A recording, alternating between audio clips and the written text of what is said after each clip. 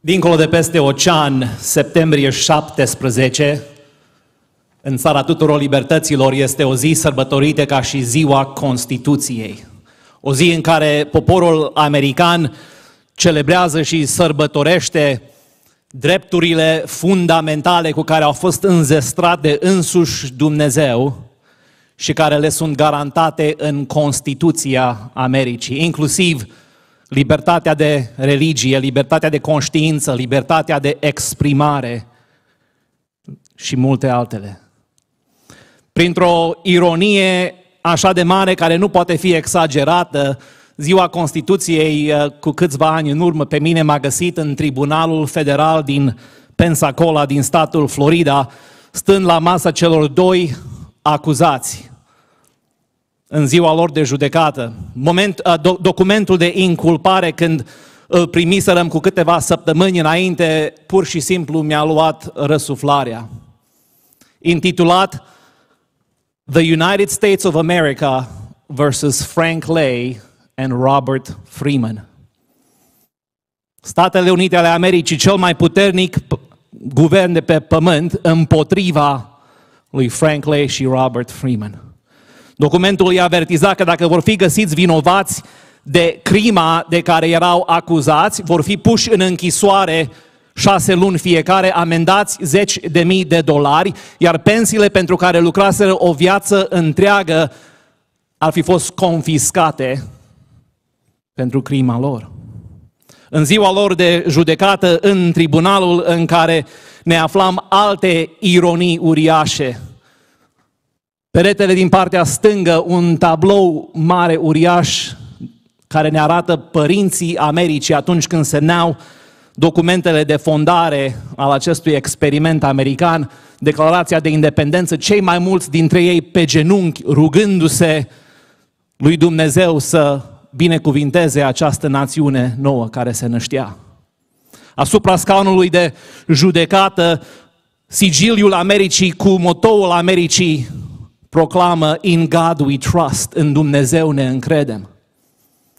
Garda tribunalului, când cheamă sala la ordine, o face printr-o zicală obișnuită în care spune All rise, God save the United States of America and God save this honorable court. Dumnezeu să salveze America și să salveze acest tribunal, spune garda. Iar apoi martorii care vin să depună mărturie împotriva acestor doi inculpați, vin acolo, dar înainte ca să poată să depună mărturie într-un tribunal american, trebuie să pună mâna pe Biblie și să spună, jur că voi spune adevărul, întregul adevăr și numai adevărul, așa să mă ajute Dumnezeu. Toate aceste rugăciuni într-un tribunal public ca și dovezi indisputabile că America a fost concepută de părinți creștini, fondate pe valori biblice, și în tot în acest timp, cei doi oameni la un pas de închisoare pentru crima lor, ce au făcut acești oameni? Care a fost crima lor? Un director de liceu și adjunctul lui au adunat câțiva oameni din comunitatea lor la oaltă să le mulțumească pentru că au fost implicați în mod financiar în programul sportiv, au construit o sală nouă de sporturi și ca să inaugureze această seală, i-au adus la un loc pe acești oameni să le servească un prânz. Dar înainte ca să servească un prânz, Frank se uită la Robert și spune, Robert, would you bless the meal? Vrei să ceri binecuvântarea Domnului peste această masă? Robert spune, da, își pleacă capul, amândoi, toți cei care sunt acolo împreună, adulți, cu consimțământ voluntar, o fac. Și în 30 de secunde mulțumesc Domnului. Asta a fost crima lor. Au devenit dintr-o dată inculpați criminal în acest tribunal o priveliște înfricoșătoare care ne arată starea libertății în țara tuturor libertăților. Am venit cu o veste rea, compatrioții mei români. Și vestea rea este că libertatea în țara tuturor libertăților este sub un atac crunt, necruțător și continuu. Cezarul se crede Dumnezeu și cezarul pretinde sau cere creștinului să-i cedeze familia, creșterea și educarea copiilor, libertatea religioasă și exprimarea ei în spațiul public, santitatea vieții umane de la momentul concepției până la moartea naturală, autonomia trupului fizic ca și templu al Duhului Sfânt, chiar și autonomia bisericii Domnului nostru Isus Hristos, toate acestea sunt sub un asediu și sub un atac. Toate acestea care indisputabil aparțin lui Dumnezeu și nu a cezarului. Acum cezarul se crede Dumnezeu. Și în colaborare sau conspirație cu organizații radicale cu resurse nelimitate, cezarul cere creștinului să-i cedeze aceste lucruri. Am o veste și vestea și Maria, la care deja am făcut aluzie astăzi, este că toate aceste lupte de care avem parte în America în ultimii ani, dacă nu sunt deja în România, sunt pe drum și vor veni aici. România nu este o insulă, nu cred că este o țară în care vom putea cere azil politic într-o zi din America. Dacă lucrurile acestea se întâmplă în America, în țara tuturor libertăților, am toată certitudinea că se vor întâmpla și în România. Astea sunt veștile rele. Dar n-am venit peste ocean ca să vă pun într-o stare de depresie, dragii mei români. Și am venit peste ocean, de fapt, să vă aduc o veste bună. Și vestea bună este că Dumnezeul nostru, autorul și creatorul libertății, este un Dumnezeu suveran și este pe tronul Universului în ziua de astăzi. Nu numai pe tronul Americii, nu numai pe tronul România, României, pe tronul Universului. Și el nu este indiferent sau inconștient de starea libertății în America sau în România și nici prin accident și nici prin coincidență el a îngăduit încă dinaintea timpului, dinaintea hotarelor, ca voi să fiți născuți și să locuiți în România, ca eu să fiu în America, ca noi toți să fim exact în circumstanțele și locurile, în cetățile în care El ne-a așezat pentru a fi sare și lumină, lumini orbitoare pentru adevăr într-o lume care disprețuiește adevărul. Și vestea bună în, în, în, în după masa aceasta este că atunci când Dumnezeu găsește un creștin curajos, care își cunoaște destinul și menirea, căruia nu este rușine nici frică să tragă o linie în nisip și să spună nu cezarului atunci când cezarul se pretinde Dumnezeu. Când Dumnezeu găsește un astfel de creștin curajos, nu este limită la ceea ce Dumnezeu poate să facă. Și la Liberty Council îs martor în, în, în prima bancă, pe primul scaun să văd ceea ce Dumnezeu poate să facă, cum intervine în situații imposibile pentru ca să redobândească libertatea și să aducă schimbări mari în societate. Dau slavă Domnului pentru asta. Nu avem o grămadă de timp în după masa aceasta, dar am să trec prin revistă doar câteva cazuri în care l-am văzut pe Dumnezeu lucrând prin creștini curajoși. L-am văzut acum, nu de mult, recent, în legătură cu efortul statului de a pur și simplu declara Biserica Domnului nostru Isus Hristos a fi inesențială și de a o închide-o prin forța legii pe justificarea pandemiei. În mod discriminatoriu.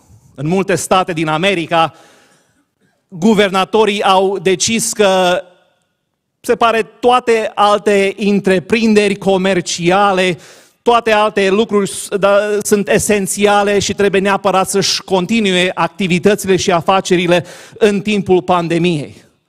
Supermarketuri, uzine, depozite, warehouses, chiar și clinicele de avort și barurile sau birturile au fost esențiale și lăsate să fie deschise. Spuneau, po, pă, nu putem să închidem birturile și barurile pentru că sunt unii oameni care au dependență de alcool și nu putem să eh, îi deprivăm. Poate că se sinucid dacă închidem barurile. Le-au lăsat deschise, dar Biserica Domnului au spus că este inesențială și au încercat să o închidă prin forță.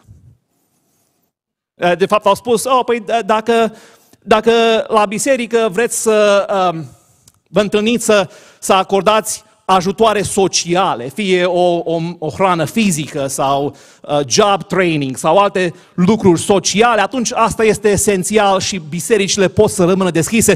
Dar dacă biserica se întâlnește să, să fie biserică și să laude pe Domnul, să propovădească Evanghelia, atunci COVID-ul este mult prea periculos, au spus acești guvernatori și aceste state, pentru a permite aceste lucruri neesențiale. Și când am văzut aceste lucruri, ne-am dat seama că biserica de 2000 de ani aparține Domnului nostru Isus Hristos, nu cezarului și nu statului. Și pentru că nu pot singur sau cu Liberty Council să mă duc într-un stat și să, să pledau un caz pe numele meu, pentru că am nevoie de un client curajos care este gata să, să-și pună gâtul pe linie și să spună nu cezarului, ne-am rugat Domnului să ridice un astfel un astfel de creștini, astfel de biserici. Am văzut multe biserici, din păcate, care s-au încadrat sau închis în mod voluntar pentru luni de zile, ani de zile, multe din ele nici măcar nu s-au mai redeschis. Dar Dumnezeu ne-a răspuns rugăciunilor și a ridicat biserici și creștini curajoși prin toată țara, slavă Lui pentru asta. La Chicago Dumnezeu a ridicat creștini curajoși și biserici curajoase chiar în spațiul român-american. Mai multe biserici române-americane din statul Chicago au decis să se împotrivească guvernatorului J.B. Pritzker atunci când el a legiferat un astfel de ordin discriminatoriu și nedrept. Și am scris împreună o scrisoare deschisă guvernatorului în care i-am spus nu ești nici despot, nici monarh și nu ai nicio autoritate sub lege sau sub Constituție să faci un astfel de lucru. Biserica, am spus, aparține lui Dumnezeu și dacă Dumnezeu, dacă Domnul Iisus Hristos Mântuitorul a promis că nici porțile iadului nu vor birui biserica, atunci cu siguranță tu nu poți să o închizi. I-am trimis scrisoarea, am publicat-o pe mass media și am spus în scrisoare, domnule guvernator, sper că cu voința ta, dar cu sau fără voința ta, în duminica care vine, bisericile Domnului Isus Hristos româno-americane din statul Illinois, din orașul Chicago, se vor întâlni să laude pe Dumnezeu. Slavă Domnului pentru astfel de creștini curajoși. Bine, am început un proces de litigiu pentru că guvernatorul Pritzker nu a fost de acord. Am început un guvern de litigiu constituțional împotriva lui și în tribunalul de primă instanță am ajuns la un judecător care pur și simplu s-a râs de noi și ne-a trimis acasă, spunând că nu este nicio infracțiune să închizi biserica și numai biserica, pentru că este pandemie. Am apelat imediat de urgență la tribunalul de apeluri din circuitul numărul 7, unde trei judecători în mod rapid au ajuns exact la aceeași concluzie. Și deci așa ne-am găsit pe treptele Curții Supreme ale Americii cu o cerere de urgență să intervină, să interzică o astfel de discriminare. 99,9% din astfel de cereri sunt respinse automat, fără niciun răspuns de la ceilalți. Dar în cazul nostru, Curtea Supremă, în câteva ore după ce am depus această cerere, îi cere guvernatorului J.B. Pritzker să își justifice acțiunile sub lege, sub Constituție și îi impune un deadline de doar 24 de ore să facă lucrul acesta. Deci așteptăm ziua următoare, ne pregătim cum să răspundem justificării pe care guvernatorul J.B. Pritzker va încerca să o ofere, dar cu un ceas sau două înaintea deadline-ului, guvernatorul J.B. Pritzker, în loc să-și justifice acțiunea, intră la televiziune și spune, păi uite, în mod voluntar, decidem acum că biserica este esențială și poate să-și rezume activitățile în, fără nicio restricție. Slavă Domnului pentru asta! Dintr-o dată, Illinois a devenit uh, unul din statele cu restricțiile cele mai mari asupra bisericii, acum fără nicio restricție. Slavă Domnului! Ei bine, din cauza că el spune că în mod voluntar redă această libertate care n-a fost a lui să o ia în primul rând, am fost conștienți că dacă guvernatorii și guvernul în mod voluntar ne iau și ne iau libertățile, dacă nu există un precedent legal prin care să stabilim odată pentru totdeauna că guvernul nu are astfel de putere, astfel de autoritate, atunci se va întâmpla din nou cu siguranță în următoarea pandemie. Așa că ne-am rugat Domnului să, să ridice un alt faraon cu o inimă mai împietrită care să fie gata să ducă această bătălie până la capăt, până la final, până la Curtea Supremă. Și Dumnezeu ne-a răspuns rugăciunilor, a ridicat un faraon în California, în guvernatorul Gavin Newsom, care să facă acest lucru. Și guvernatorul Newsom și el a închis biserica în mod discriminatoriu și el a decis că nu poate să fie deschisă. Și mulțumesc Domnului că ori de câte ori ridică un faraon, el ridică de asemenea câte un Moise.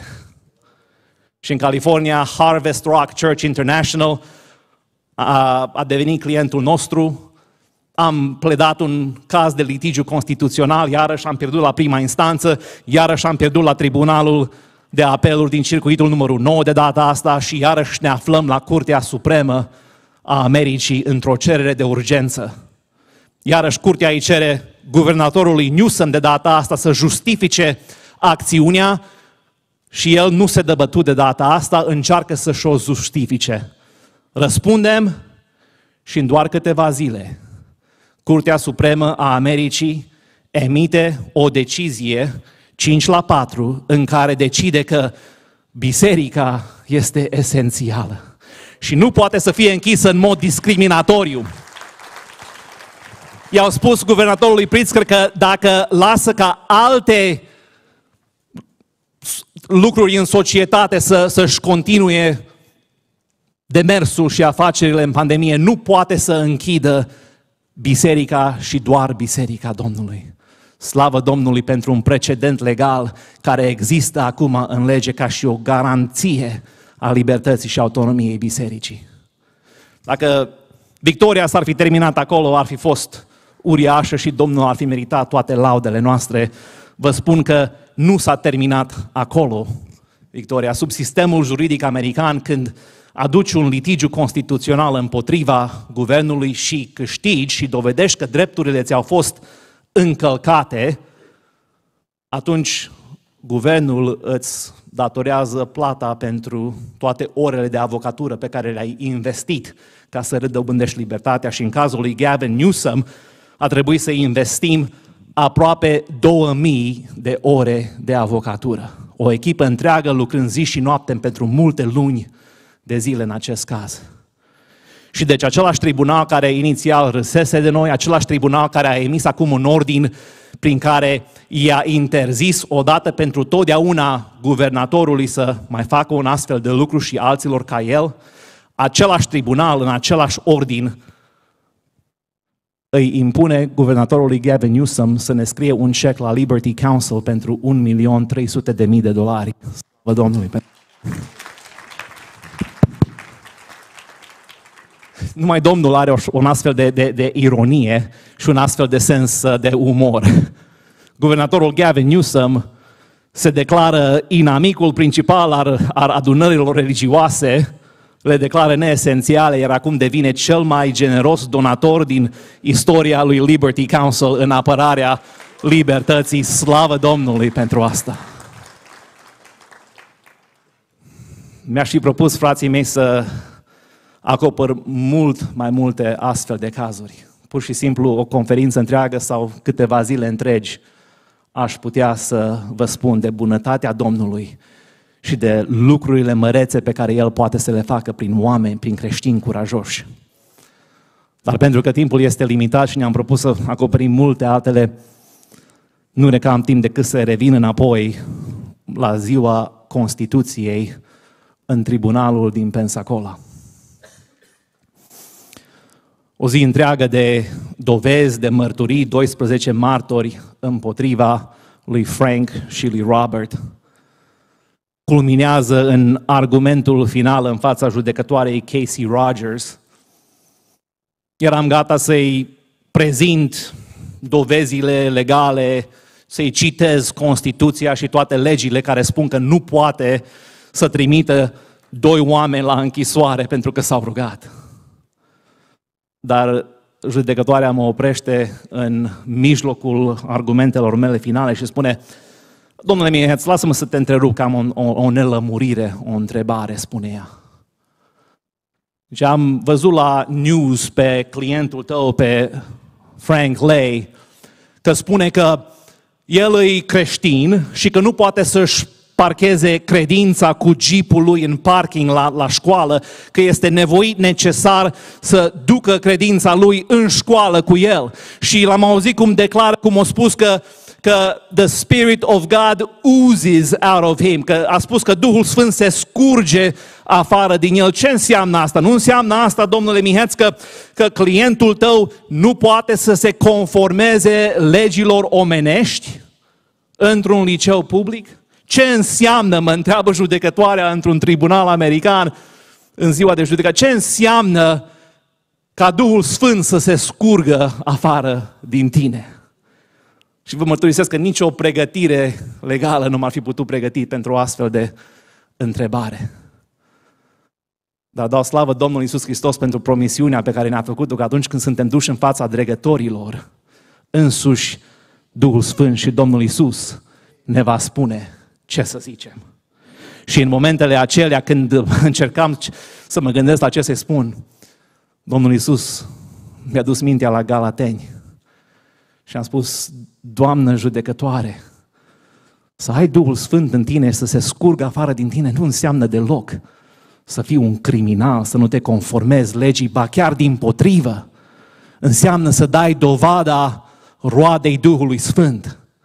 Și roada Duhului Sfânt, i-am spus, este dragostea, bucuria, pacea, îndelunga răbdare, bunătatea, facerea de bine, credincioșia, blândețea și înfrânarea poftelor împotriva acestor lucruri, Doamnă judecătoare, nu există lege.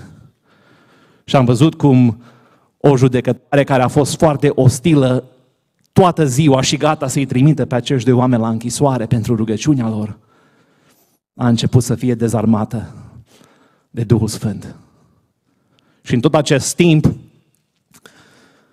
vreo patru sau cinci mii de, de oameni, inclusiv toți elevii din liceul acela, veniseră afară la acest tribunal să, se, să ne susțină în rugăciune, să se roage pentru noi, roagă pentru noi. Și în mod spontan, unul, unul din ei a fost vreo patru sau cinci mii, plin acolo pe, în fața tribunalului. În mod spontan, unul dintre ei spune la un moment dat, hei, ce-ar fi să începem să înconjurăm acest tribunal de vreo șapte ori, așa cum au făcut-o izraeliții odată cu cetatea Ierihonului? Și unul spune, oh, asta e, asta e o idee bună, uite că se întâmplă că am cu mine un șofar, o trâmbiță evreiască, hai să o facem. Și au început să facă lucrul acesta și ori de câte ori ajungeau în fața tribunalului la ușă, ăla dădea din trâmbița lui. Și sus de la etajul 11 auzeam ce se întâmplă, cineva mi-a spus ce face acolo. Și știind cum s-a terminat povestea în Iosua, am spus, Doamne, nu știu cum vei interveni astăzi și cum îți vei face puterea Ta să fie văzută în acest loc, dar orice faci, Doamne, nu lăsa ca zidurile acestui tribunal să fie dărâmate cât timp eu sunt încă aici la etazul 11.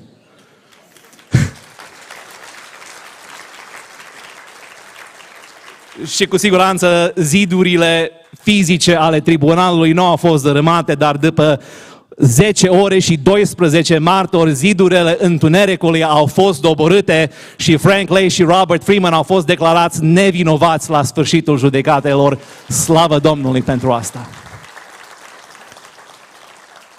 Dragii mei frați și surori compatrioți români, la sfârșitul timpului nostru de astăzi, dacă mă întrebați dacă mai am încă speranță în ciuda toate provocărilor și toate atacurilor, dacă mă întrebați dacă mai am încă speranță pentru libertatea în țara tuturor libertăților și pentru libertatea în România, răspunsul meu este fără nicio ezitare, un categoric da, cred cu tot din adinsul că Dumnezeu încă este pe tron, încă mai lucrează și încă nu și-a luat mâna de binecuvântare deasupra Americii sau deasupra României. Slavă Lui pentru asta!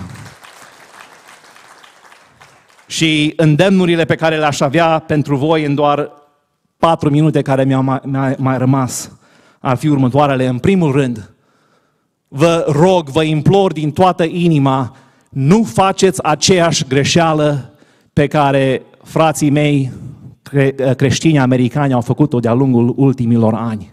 Și anume, ei au cumpărat în America minciuna diavolului, zic eu, că atâta timp cât au libertate să laude pe Domnul în bisericile lor, nu este, nu este ce să cauți ca și creștini în, în sistemul juridic, în politică, în sistemul legislativ. Au cedat aceste sfere ale cetății celorlalți, care ani de zile au făcut ravagii, practic fără nicio opoziție și acum încă plătim prețul acestei greșeli tactice.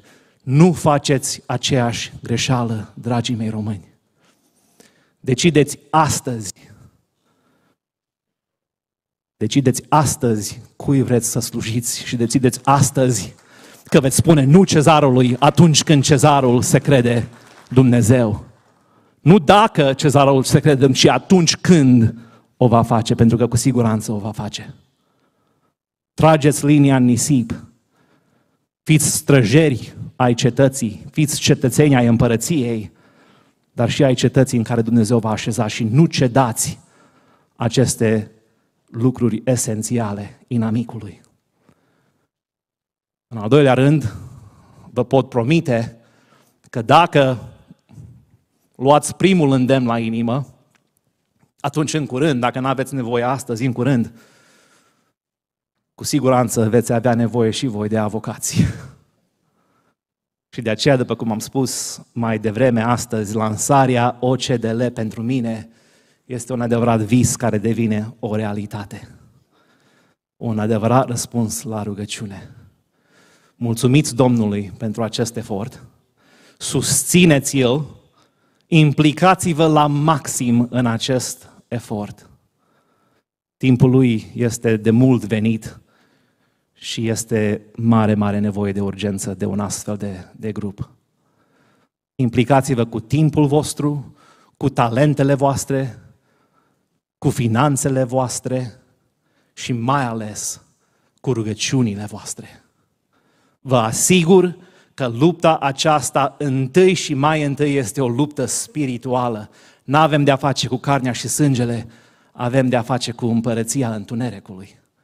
Fără rugăciune nu putem face nimic. Începeți de astăzi, dacă nu o faceți deja, să susțineți lucrarea de la OCDL în rugăciunile voastre zilnice, stăruiți pentru ea. Vestea rea este că dușmanul, inamicul, este puternic, are resurse nelimitate și vine împotriva noastră. Vestea bună este că Dumnezeul nostru este suprem și, și e pe tron în, în, după masa aceasta. Vă spun, ori de câte ori pășesc într-un tribunal, mă duc și se pare că sunt singur acolo, poate doar eu și cel acuzat. Și mă uit dincolo și văd cum inamicul libertății, pentru care resurse nelimitate, aduce 4, 5, 7, 9, odată 13 avocați se înghesuiau, o trebuie să mai aducă încă o masă pentru ei, că nu aveau loc la masa care era pusă acolo. Și mă gândesc, oameni buni, dar cum o să fie asta o luptă dreaptă?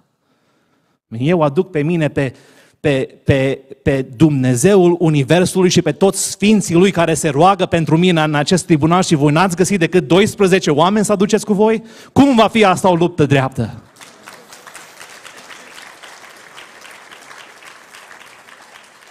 Lupta la care se angajează OCDL nu va fi o luptă dreaptă, dar va fi o luptă în care Dumnezeul Universului va fi implicat prin rugăciunile voastre. Aștept cu nerăbdare să văd felul în care Dumnezeu va lucra. Psalmul 20 cu 7, vă las acest verset al meu favorit din întreaga Scriptură.